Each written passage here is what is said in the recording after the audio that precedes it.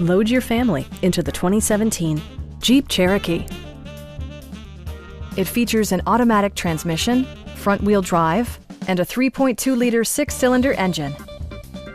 Top features include remote keyless entry, front and rear reading lights, one-touch window functionality, an outside temperature display, a roof rack, and a split folding rear seat. With high-intensity discharge headlights illuminating your path, you'll always appreciate maximum visibility. Audio features include an AM-FM radio and six speakers providing excellent sound throughout the cabin.